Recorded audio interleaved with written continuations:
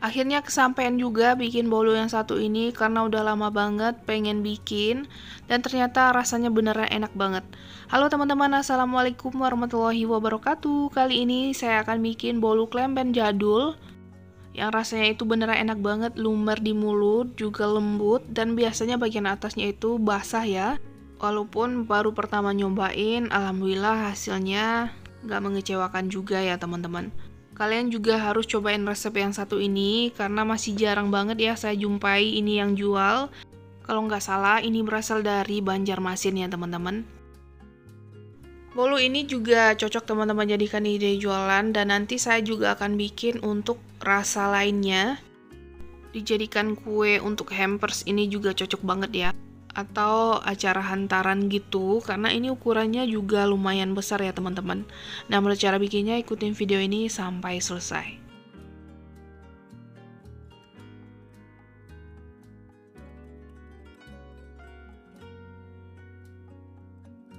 Di wadah saya udah siapkan telur sebanyak 6 butir, saya gunakan yang suhu ruang, tambahkan juga 220 gram gula pasir, dan 1 sendok teh vanili bubuk dan 1 sendok teh SP.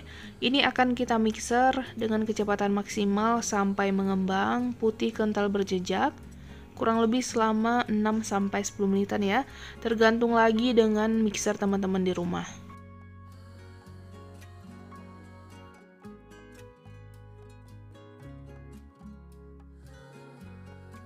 Setelah kurang lebih selama 6 menitan di mixer, ini adonannya udah mengembang.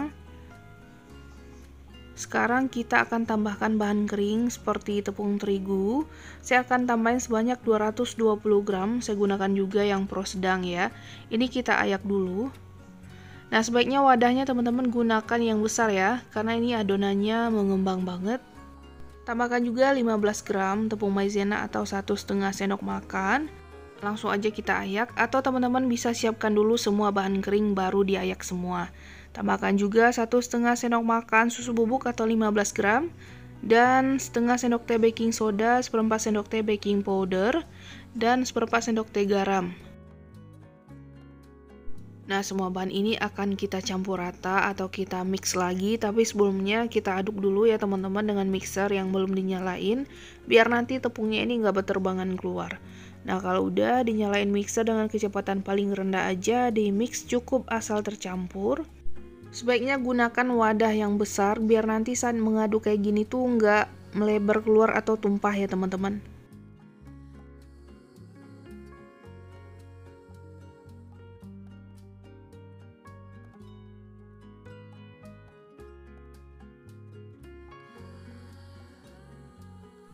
Kalau dirasa udah, sekarang kita akan tambahkan 100 gram margarin cair. Ini udah dalam keadaan dingin.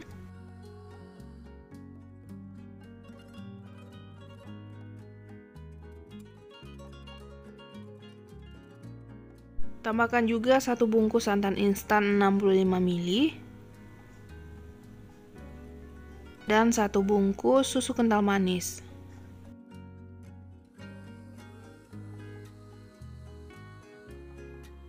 Lanjut kita mixer kembali dengan kecepatan rendah aja, cukup asal tercampur, nggak usah terlalu lama.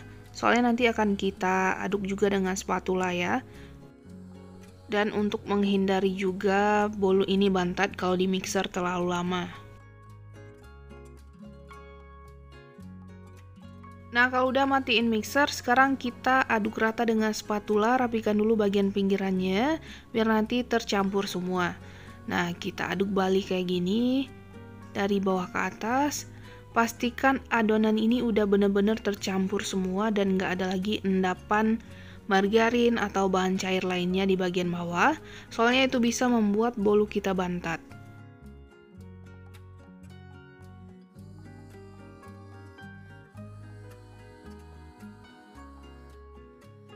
Kalau dirasa udah tercampur rata semua, tinggal dimasukin ke loyang. Saya gunakan loyang ukuran 24 cm.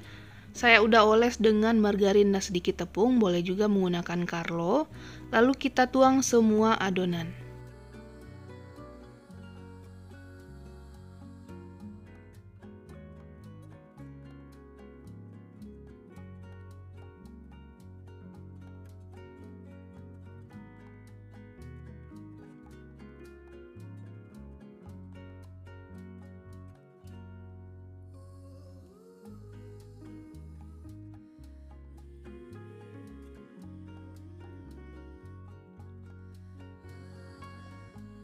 Kalau udah tinggal kita hentakan aja sebentar dan ini siap untuk kita panggang ya. Sebelumnya ovennya dipanaskan dulu selama 10 menit. Kita akan panggang di suhu 160 derajat celcius menggunakan api bawah aja selama 50 menit ya. Dan nanti kita akan tambah panggang menggunakan api atas aja selama 3-5 menitan. Setelah matang langsung aja kita keluarkan dari ovennya. Nah ini kita hentakan sebentar Nah, di sini nih saya kurang ngerti ya cara mengeluarkan dari loyang karena bagian atasnya itu masih sedikit basah. Ada yang bilang kertas nasinya dioles sedikit margarin dulu baru dikeluarkan. Nah, kita coba aja ya teman-teman. Nah, ini langsung kita keluarkan dari loyang. Kelihatan ya, ini tuh beneran matang sempurna. Langsung aja kita balik. Coba kita lihat. Dan ini ternyata sedikit lengket ya teman-teman karena di bagian atasnya itu kan belum matang banget ya atau belum kering. Karena ciri khas dari bolu klemben ini tuh bagian atasnya itu basah ya dan lumer banget. Jadi teman-teman yang tahu cara mengeluarkan dari loyang biar bagian atasnya itu tuh nggak lengket, saat dikeluarkan bisa tulis di kolom komentar ya. Nah kalau di sini langsung saya potong-potong aja dalam keadaan panas. Tapi mungkin ditutup dulu aja ya teman-teman sebelum dipotong-potong. Jadi kita tutup selagi panas di bagian atasnya.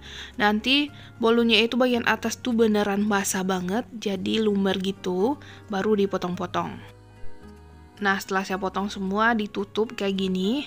Tapi tadi saya ganti dengan penutup atau menggunakan mika bolu ya biar uh, tutupannya itu tuh nggak lengket di atas bolu ya teman-teman. Nah ini setelah dingin jadi memang basah sih bagian atasnya, tapi yang sedikit ini tuh jelek banget ya tadi karena lengket di kertas nasi. Sebenarnya dia tuh lumer ya teman-teman. Teman-teman bisa lihat bagian atasnya itu masih basah, tapi lengket lagi nih di tangan saya. Tapi basahnya itu nggak yang terlalu lumer banget, tapi hasil akhirnya lumayan bagus ya teman-teman karena ini kali pertama bikin. Alhamdulillah menghasilkan bolu yang secantik ini. Teman-teman juga bisa praktekin ini di rumah jangan takut gagal dulu ya. Kalau seandainya gagal kita coba lagi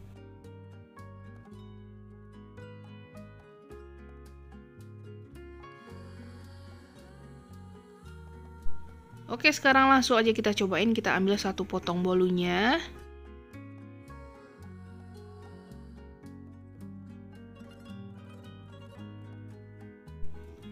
Nah, untuk tekstur bolunya dia tuh beneran lembut, dia empuk.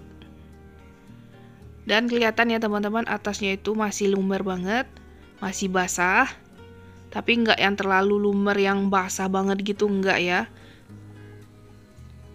dan ini juga empuk.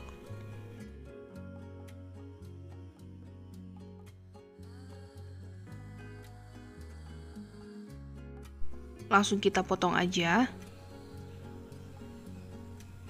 Nah, ini dia hasilnya teman-teman. Untuk rasanya sendiri dia manis, legit banget, pokoknya enak bisa dijadikan ide jualan juga. Ini bolunya juga besar dan tinggi banget ya. Nah, sekian dulu video dari saya. Semoga bermanfaat. Assalamualaikum warahmatullahi wabarakatuh.